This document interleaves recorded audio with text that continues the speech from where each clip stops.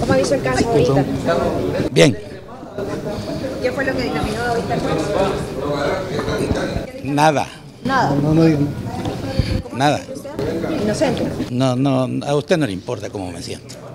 Así reaccionó el empresario José Adán Salazar ante los cuestionamientos que hacía la prensa sobre su audiencia preliminar, establecida en el Juzgado Cuarto de Instrucción de San Salvador, donde es procesado por el delito de lavado de dinero y activos, junto a ocho implicados más, entre ellos el exalcalde de Metapán, Juan Umaña Samayoa.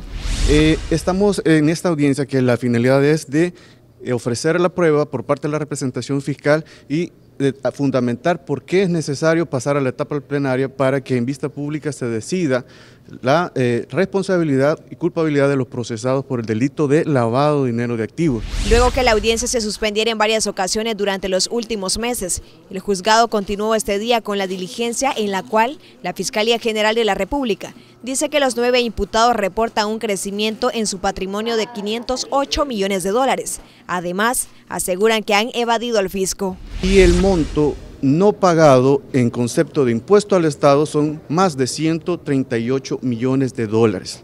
Este dinero es el que circula eh, ilícitamente dentro del sistema económico, sistema financiero y dentro de toda la economía salvadoreña, dinero que se desconoce el, el, origen y por tanto es dinero ilícito.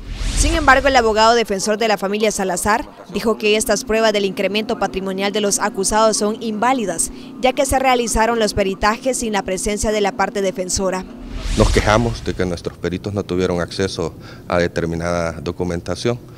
Consideramos de que unilateralmente de manera irregular se han realizado algunos actos de prueba que son inválidos y por lo tanto vamos a solicitar la expulsión. La Fiscalía pide que se mantenga la detención del exalcalde de Metapán, Juan Umaña Samayoa, ya que es el único detenido en este caso, y que las demás personas sigan siendo procesadas con medidas restringidas a la libertad.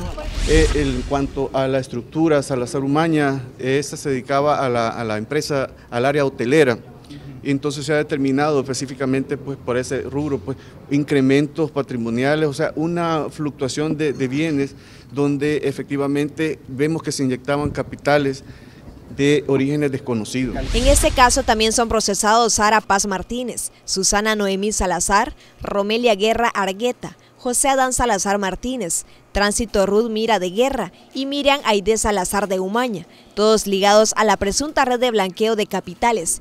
Dicha audiencia, según los defensores, podría durar tres días. Con imágenes de Douglas Ramos, para el noticiero Briseida Morán.